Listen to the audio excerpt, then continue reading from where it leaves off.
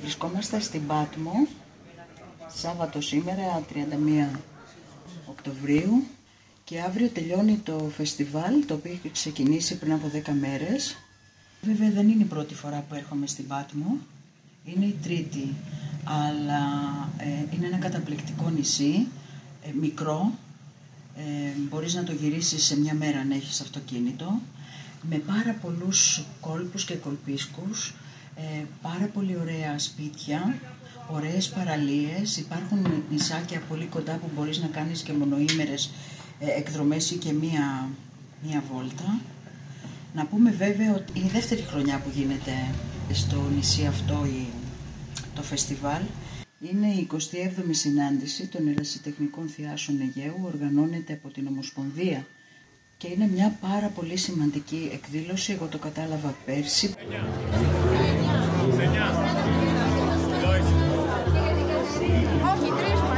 Ο πολιτισμός και ειδικά το θέατρο δεν προσφέρει μόνο ψυχαγωγία, που κι αυτή βέβαια είναι απαραίτητη, αλλά βοηθά στην καλύτερη κατανόηση όσων συμβαίνουν γύρω μας και μέσα μας.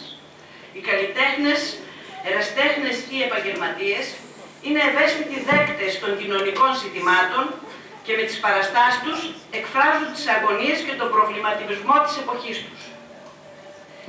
Η συνάντηση εραστεχνικών θεάσεων Αιγαίου είναι για μας μια υπόθεση πολύ σημαντική, αφού η κάθε θεατρική ομάδα δημιουργεί, δρά, προσφέρει στον τόπο της, αλλά πάντα έχει στραμμένο το βλέμμα στην επόμενη συνάντηση, μιας και εκεί θα παρουσιάσει τη δουλειά της στους συντρόφους της, αλλά και σε ένα άλλο κοινό του νησιού που τη φιλοξενεί. Οι, οι συναντήσεις είναι ο κοινός τόπος όλων μας. Είναι ο χώρος όπου θα ανταλλάξουμε απόψεις και εμπειρίες στο πλαίσιο ενός υγιή ανταγωνισμού που μας βοηθάει να γινόμαστε καλύτεροι. Είναι μια εκδήλωση που ενισχύει τους δεσμούς ανάμεσα στα νησιά μας και με όχημα τον πολιτισμό στείνει γέφυρε επικοινωνίας και συνεργασίας και φιλίας μεταξύ μας. Εφέτος, λόγω της μειωμένης πίστοση από τη γυναική γραμματεία, ενισχύθηκε με σημαντικά ποσά τόσο από το Δήμο Πάτμου και το Πνευματικό Κέντρο του Δήμου, όσο και από την περιφέρεια του Νοτιού Αιγαίου.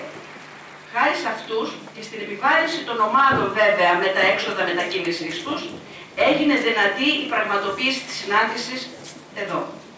Μια πανδεσία από μουσική, από χορευτικά, από παραστάσεις, ε, ε, τραγωδίες, ε, κομμωδίες. Ε, θεατρικός όμιλος Τσάνδρου πέρσι πήγε χωρίς έργο, φέτος έφερε τις εκκλησιάζουσες. Παίξαμε στις 24 του, του μήνα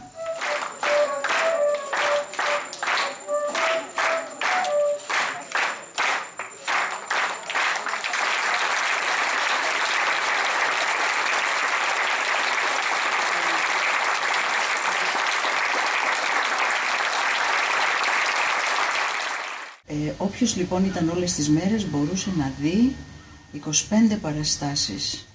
Ε, είναι κάτι που αξίζει τον κόπο, είναι από όλα τα νησιά του, του Ανατολικού Αιγαίου, των Κυκλάδων και της Δωδεκανήσου. Μπορώ να περάσω! Ναι. Από εδώ! Αχ, πολύ ωραία λάμπα! Μπορείτε να μου πείτε τι θέλετε. Αχ, η λάμπα! Μήπως ξέρετε τον Μπιλόιτ; Όχι, δεν το ξέρω. Δεν τον έχετε γνωρίσει; Όχι, δεν τον έχω γνωρίσει. Δεν τον ξέρετε προσωπικά; Ε, όχι, δεν τον ξέρω προσωπικά. Το γνώρισα τυχαία. Σε μια φτωχογειτονιά. Απλά έτυχε να περνάω από μια συγκεκριμένη φτωχογειτονιά μια μέρα και να μπροστά μου. Αμέσως κατάλαβα το μεγάλο ταλέντο του, του πρόσφερα σπίτι, του έδωσα δουλειά και τώρα πατάει γερά στα πόδια του.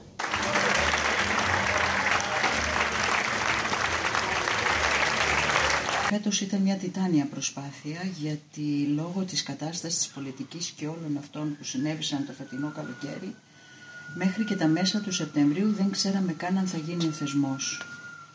Όμως με τις υπεράνθρωπες προσπάθειες είναι η αλήθεια του, του Διοικητικού Συμβουλίου της ΟΕΘΑ τελικά έγινε και παρελπίδα και παρόλο που φέτος για πρώτη φορά Ε, τα μέλη των ε, ομίλων πληρώσανε τα μεταφορικά τους γιατί δεν είχαν εγκριθεί όλες οι πιστώσεις. Ήταν απίστευτη η συμμετοχή. Ε, φέτος διακινήθηκαν 600 άτομα και είχαν, είχε το νησί της Πάτμου πάνω από 2.500 διανυκτερεύσεις. Οι αριθμοί νομίζω ότι τα λένε όλα. Οι ομάδες όλες ήρθαν σύσσωμες, φέροντας και παρέες και μέλη και συγγενείς και φίλους και έτσι είχαμε το μεγαλύτερο αριθμό και συνόλου διανυκτερεύσεων και ανθρώπων που είναι και την ημέρα εδώ. Δηλαδή, ε, αυτές τις τελευταίες ημέρες, πριν φύγουν για το Βόρειο Αιγαίο, είχαμε 340 άτομα. Αυτό δεν έχει μεταγίνει. Δηλαδή, επειδή κρατάω στατιστικά στοιχεία εγώ από κάθε χρόνο, το μέγιστο ήταν 210 σε ημέρα. Από ένα σημείο και μετά εμείς σηκώσαμε τα χέρια ψηλά είπαμε ό,τι γίνει.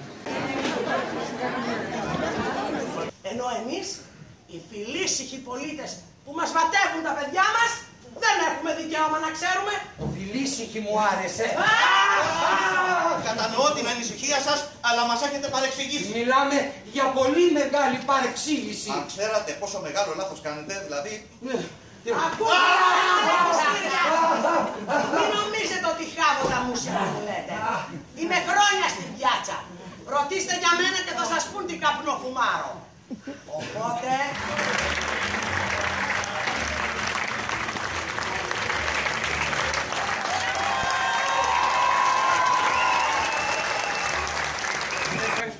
προσωπικά όλους τους τοπίους, όλους τους διαρρεστές και όλους τους κατοίκους της Μάχας. Ευχαριστώ πάρα πολύ.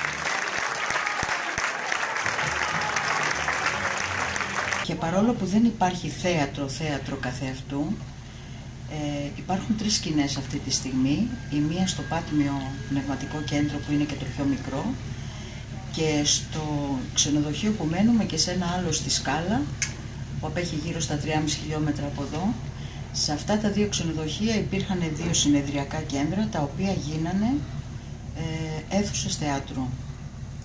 Με τις δυσκολίες τους, με τις ατέλειές τους, όμως κάθε βράδυ γεμίζουν πάνω από 300 άτομα και μένουν και άνθρωποι απ' έξω.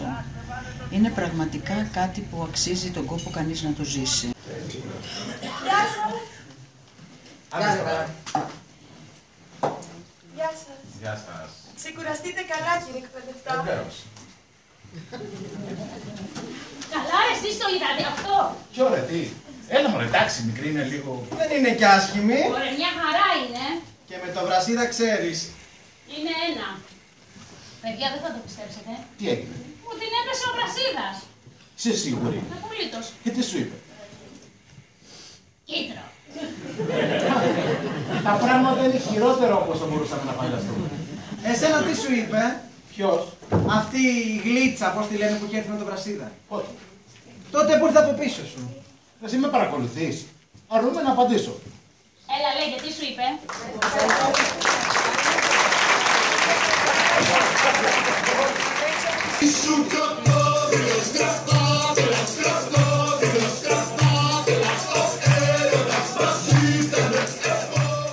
Ένας φίλος από την Πάρο με ρώτησε ε, τι πρέπει